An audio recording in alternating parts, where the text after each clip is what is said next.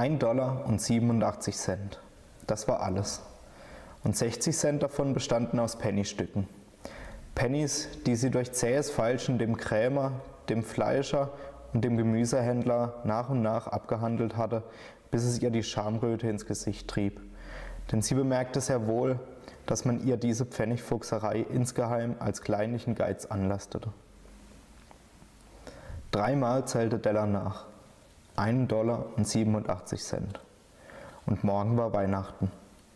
Da blieb nun wirklich nichts anderes übrig, als sich auf das schäbige alte Sofa zu werfen und zu heulen.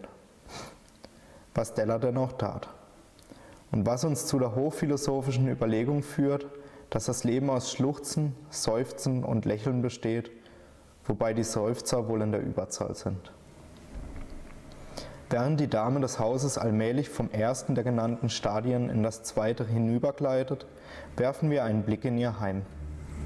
Eine möblierte Wohnung für 8 Dollar die Woche, die eigentlich mehr die Bezeichnung Asyl verdient, denn nur wenig unterscheidet sie von den unsäglichen Behausungen, die die Fürsorge Obdachlosen zur Verfügung stellt.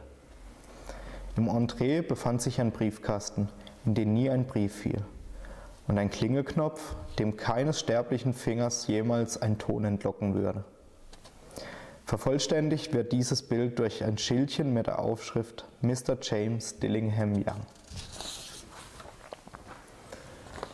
Den Namen Dillingham hatte man in besseren Zeiten dort unten angebracht, als vorübergehender Wohlstand seinem Besitzer 30 Dollar pro Woche einbrachte. Jetzt war sein Einkommen auf 20 Dollar geschrumpft und die Buchstaben auf den Namensschildchen waren von Wind und Wetter so ausgebleicht, dass sie aussahen, als würden sie ernsthaft darüber nachdenken, ob sie sich nicht besser zu einem bescheidenen und ganz anspruchslosen D zusammenziehen sollten. Jedes Mal aber, wenn Mr. James Dillingham nach Hause kam und seine Wohnung betrat, wurde er von Mrs. James Dillingham, die wir Ihnen bereits als Della vorgestellt haben, stürmisch umarmt und begeistert als Jim begrüßt. Was alles eigentlich sehr erfreulich ist. Della hörte zu weinen auf und retuschierte die Tränenspuren in ihrem Gesicht mit der Puderquaste. Sie stand am Fenster und sah betrübt einer grauen Katze zu, die in einem grauen Hinterhof einen grauen Zaun entlang schlich. Morgen war Weihnachten und sie hatte nur einen Dollar und 87 Cent, um ihrem Jim ein Geschenk zu kaufen. Seit Monaten hatte sie nach Kräften jenen Penny gespart und das war alles, was dabei herausgekommen war. Mit 20 Dollar in der Woche kommt man nicht sehr weit. Sie hatte mehr Ausgaben gehabt als geplant. Das ist ja immer so. Nur einen Dollar und 87 Cent, um Jim ein Geschenk zu kaufen. Ihrem Jim. Viele glückliche Stunden hatte sie damit verbracht, sich etwas Hübsches für ihn auszudenken. Etwas wirklich Feines, Seltenes, Kostbares. Etwas, das, wenn auch nur halbwegs, der Ehre würdig sei, ihrem Jim zu gehören. Zwischen den Fenstern des Zimmers hing ein schmaler, langer Pfeilerspiegel. Vielleicht haben Sie eine solche Art von Spiegel in einer 8-Dollar-Wohnung gesehen.